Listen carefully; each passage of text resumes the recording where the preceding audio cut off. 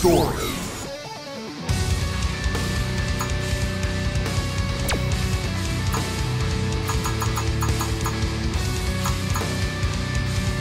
To spread the word of yoga.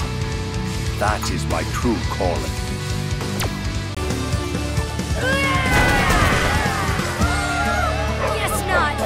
I'm not ready to breathe fire. Mika, mastering yoga is not easy, so don't be discouraged. Although you can't yet breathe fire, your